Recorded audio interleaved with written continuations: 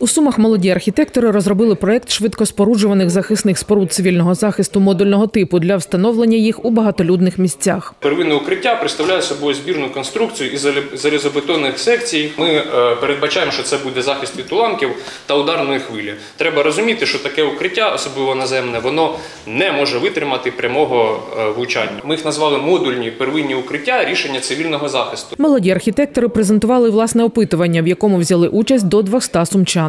Е, 79% е, відчуває е, небезпеку в місті під час тривоги. Е, Є запит на швидкодоступні укриття. 97% не задовільняє е, дії влади стосовно укриттів. Можливо, бюджету не вистачає на те, щоб побудувати повноцінні укриття та бункера, так але е, питання все ж таки де ховатися. Тобто людина може просто не добігти до укриття. Головні проблеми, з якими у процесі своєї роботи зіткнулись розробники проєкту модульного укриття, це відсутність нормативної бази, щоб адаптувати такі вуличні захисні конструкції до вимог державних будівельних норм. Саме це і стримує процес, додає представник міської влади. Більшість громад, які повстановлювали такі укриття, тепер не можуть вести їх в експлуатацію. Якщо ці е, укриття придбані за бюджетні кошти, там е, в послідуючому порушуються кримінальні провадження. Ми їм допомагаємо, щоб вони зараз допрацювали до якогось логічного кінця і запропонували якомусь із е, комерційних підприємств, які почнуть це виробляти.